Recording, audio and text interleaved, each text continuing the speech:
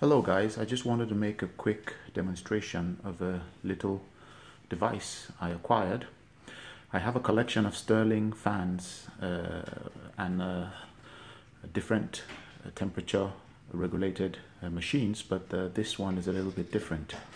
Well, this is my fireplace. It's not something that I use to heat up the house, but uh, occasionally I put it on like today in the winter months one, just because it's cozy to have it burning, and secondly, because it can quickly raise the temperature of the room.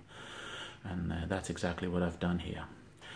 Uh, I have an, a flue that comes out of the fireplace, and uh, the flue at the moment, I don't know if you can see the temperature, but it's about 150 to 155 uh, degrees exactly when it comes out. And then I have this little doohickey here.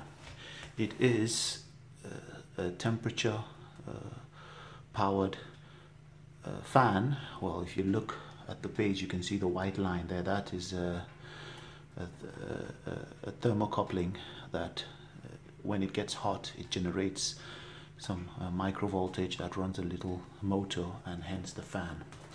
So the bottom end is warmer than the top which keeps is supposed to keep on cooling by the air it draws.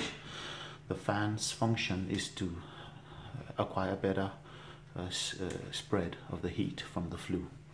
And it's a magnetic device. That means I can take it off and place it at any level of the flue I want depending on the temperature I've just placed it down here now for the demo because it's the warmest part of the flue.